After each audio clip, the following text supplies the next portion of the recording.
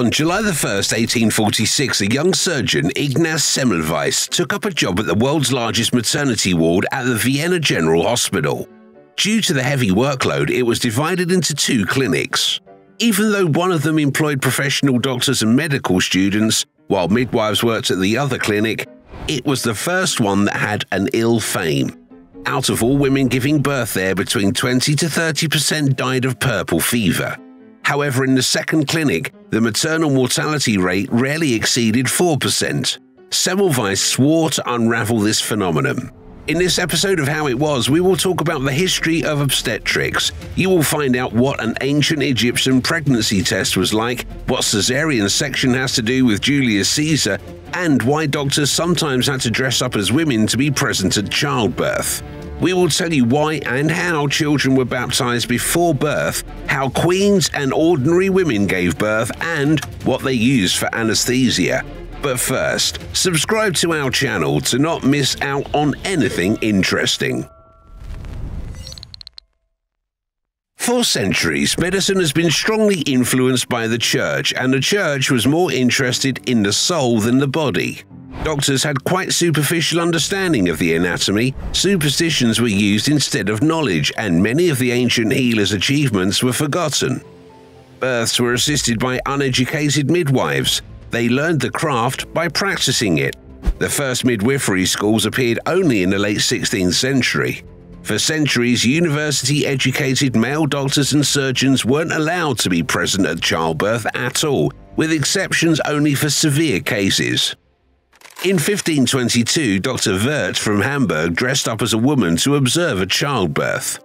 As punishment for this curiosity, the doctor was burned at the stake. And in 1658, the English doctor, Willoughby, had to creep into the chamber on his hands and knees to examine the woman in labour unperceived. With this level of medicine, any complication was equal to a death sentence so doctor or midwife had to at least take care of the salvation of the baby's soul. In the 13th century, the Dominican friar Albertus Magnus wrote a book for midwives containing instructions on preserving the life of infants for a time sufficient for their baptism. In particularly dangerous cases, the infant baptism ceremony had to be performed while still in the womb.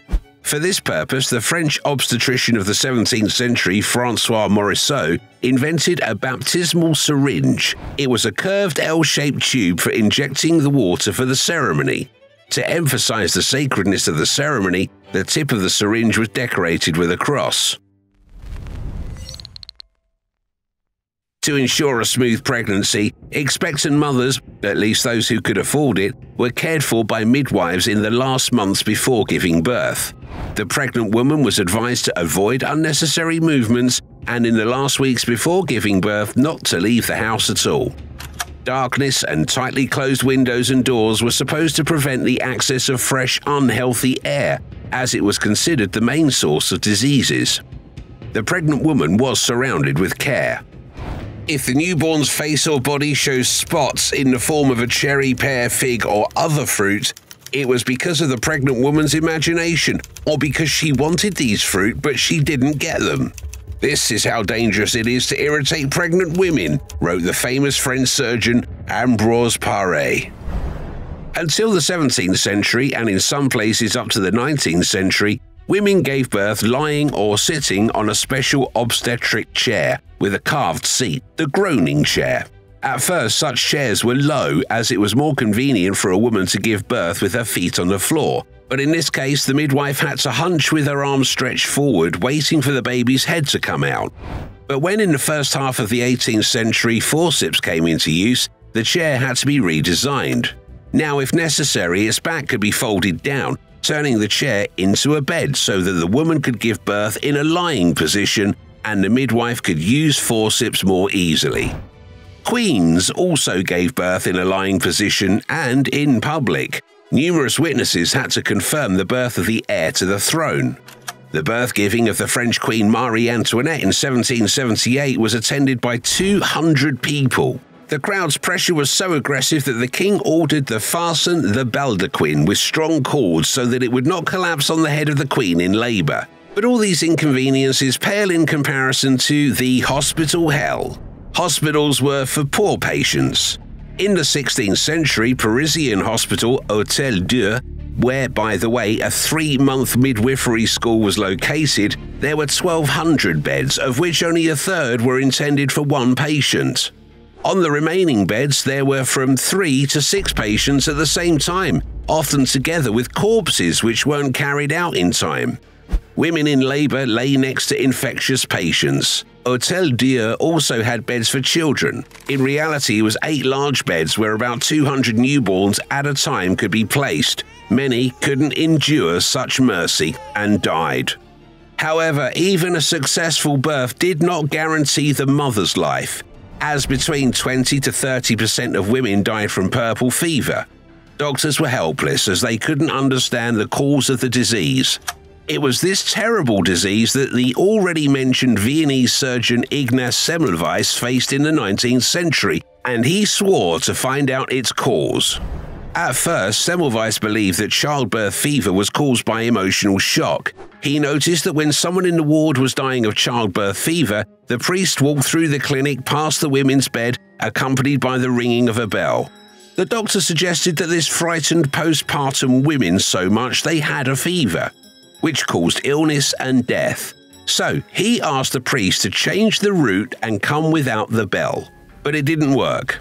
Having discarded psychology, Semmelweis turned to statistics. He compiled a detailed table of the patients admitted to the first and second clinics and found that over the past six years, almost 2,000 women died in the first department and 700 died in the second one.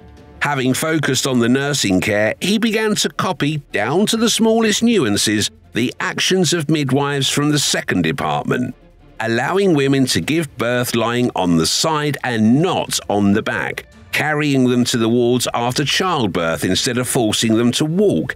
He introduced regular ward ventilation and increased control over the drug distribution, but all to no avail. On top of that, the tables caught the eye of the higher ups, and after lengthy investigations, it was concluded that the deaths in the first ward were caused by negligent actions of the doctors. Semmelweis was fired. Besides, he received terrible news. His best friend, medical examiner Jakob Kolletschka, died. During the autopsy of a woman who had died of puerperal fever, a clumsy student accidentally cut Kolletschka with a scalpel. Semmelweis realized the corpse particles got through the wound into the blood of his friend and caused sepsis. And women in labor got infected through vaginal tears by students who, apart from the obstetric procedures, also performed autopsies. This was the reason for the different mortality rates in the two clinics. Midwives didn't perform autopsies. Semmelweis cheered up, returned to Vienna, and got a job at the same clinic. He didn't suspect that making a discovery is easier than convincing others of its importance. The chlorine solution suggested by Semmelweis completely removed the morgue smell and washed away the corpse particles from hands. On the doors of the first clinic, there appeared an historic announcement. Starting from this day, May 15, 1847, any doctor or student heading from the morgue to the maternity ward is obliged to wash his hands in the bowl of chlorine water at the entrance. Strictly mandatory for everyone without exception. I.F. Semmelweis. The result was astonishing. Soon the mortality rates in the two departments were equal. In 1861, with the help of his friends, Semmelweis published a 543 page work on disinfection, the etiology, concept, and prophylaxis of childbed fever, but it wasn't approved by the scientific community.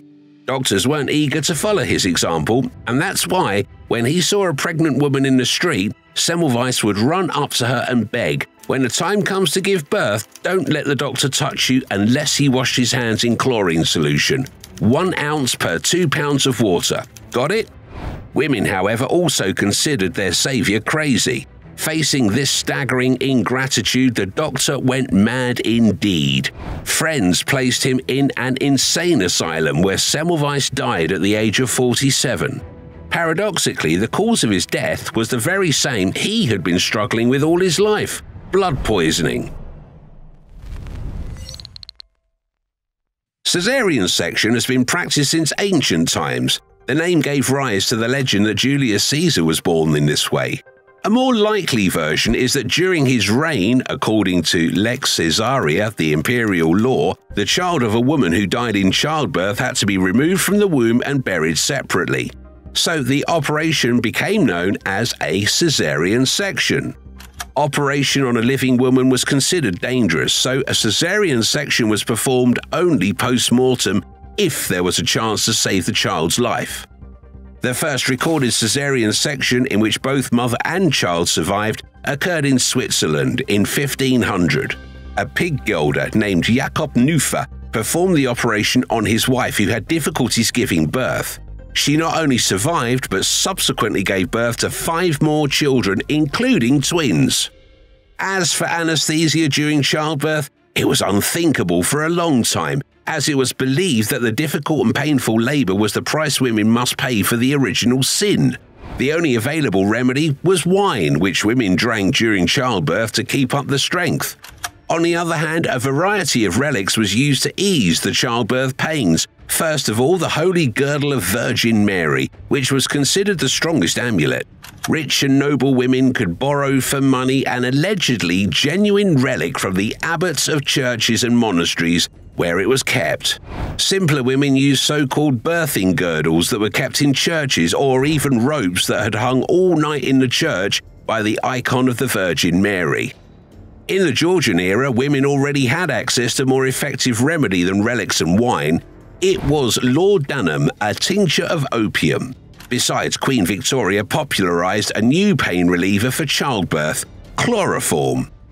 And the final question when did people learn, or at least try, to diagnose pregnancy and predict the sex of an unborn child? The first pregnancy test appeared in ancient Egypt at least 3,500 years ago. According to the Carlsberg Papyrus, the facts of pregnancy and a child's sex were determined with the help of barley and wheat grains. For several days, the grains were moistened with the woman's urine.